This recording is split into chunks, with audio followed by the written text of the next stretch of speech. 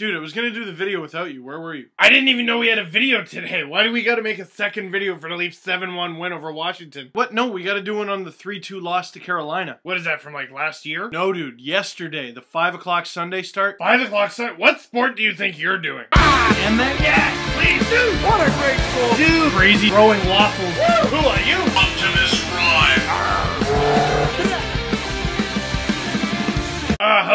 welcome to Philadelphia Eagles fan reaction, I guess. No, it, just watch the highlights. Leafs lose 3-2 to the Carolina Hurricanes. And I know a lot of people uh, want to get all sad about that. But, and I kind of alluded to this in the last video, the Leafs weren't really supposed to win this one. Because 19 hours after their game finished against Washington in Toronto, the Leafs had to go to Raleigh, North Carolina and play the Hurricanes at 5. I'm not a schedule maker. I don't profess to know how incredibly hard their job is. I'm sure it's grueling, but five. And forget the five. Sunday night hockey is just a problem. Because I would just wake up like a zombie on Monday because I stayed up all night to do homework because I didn't do any during the game, obviously. You ever trick yourself into doing homework during the game like you tell yourself you're gonna? Eh, I know it's like 1,500 words, but I got a laptop and just sit right down. You know, I'm a multitasker. End of the third, you might have clicked like save as and maybe even come up with a title. The Keeners would have remembered to insert footnotes. Or at least a spot for the footnotes to go when you, you know, eventually come up with them. Anyway, the Leafs showing no jump in the first, getting outshot by Carolina 10 to 5, but they haven't been scored on. And if they could just hold on to keep it scoreless by the second, the Leafs have a shot. Of course, final 30 seconds, Jay Harrison puts it on net and the Hurricanes go up 1 0. A goal Ben Scrivens would probably want back, but a game the Leafs would probably want back. Or not at 5 o'clock on a Sunday. Forget the 5 o'clock on a Sunday part. I just hate when teams, all teams,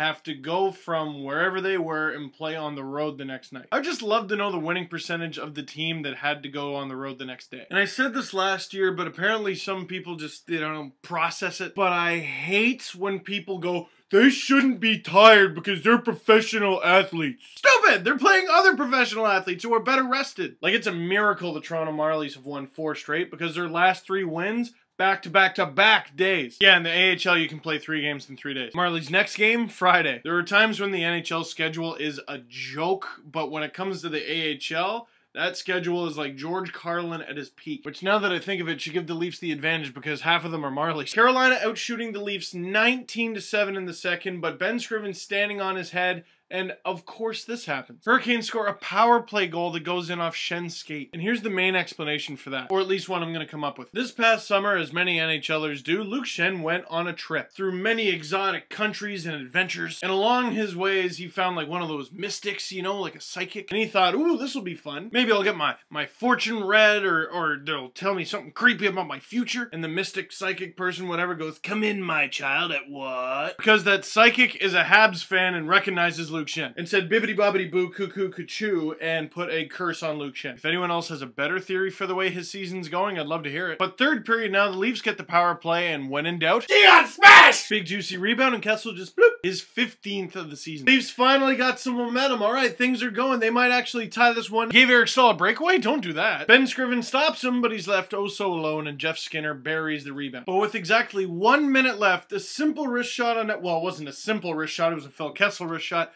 fools Cam Ward, and the Leafs are within one. If they had to give out the Hart Trophy today, how do you not give it out to Phil Kessel? Because it goes out to the most valuable player. And I cringe to think where the Leafs would be without Kessel right now. Unfortunately, that's the way this one would end. The Leafs are outshot 41 to 25. But I'm not going to get too rattled about it because, again, like I said, they weren't really put in a position to win. One more thing about the loss and one more thing about the grander scheme of things. Watching the game and I'm just looking at what people are saying on Twitter, making my own observations, obviously, and people not so happy with the officiating. And regarding that, I will say nothing. Refs have a crazily hard job and I normally don't have a complaint. But one thing I have noticed, and you don't even need to include this past game into the equation, there are often a lot of complaints against the officials when the Leafs are playing the Hurricanes in Carolina. Like enough that I would notice it and think that it's weird. Like why wouldn't I think that about a divisional rival? The Habs, the Bruins, or the Sabres. The Leafs couldn't beat the Sabres for years. Why wouldn't I think it was them? Because dating back to like, remember when Antropov got mad and threw his stick at the ref after an overtime and got suspended? I think it was three games. And Leafs head coach, ironically at the time, Paul Maurice just blew a gasket. Ever since then, there's been a disproportionate amount of calls in Carolina where I kind of go, really? And I won't say it was this game, just, hey, something to look out for in the future. Last but not least, this next four or five game stretch could make or break the Leaf season. It might not. Like I said, it's still early, and I want them to play like around 500 for the next month given the circumstances. But this tired, depleted Leafs team continues their road trip for the next three games against the Lightning, Stars, and Ducks. Now, the disadvantage is they're on the road, but the advantage is those teams are hurting right now, which come to think of it should mean they're hungry. To stay in the playoff mix, I think they got to win two of those three. And then the Leafs finally return home against Boston and then go back on the road in Boston. If the Leafs can split the home and home, that puts them 3 and 2 over those 5 games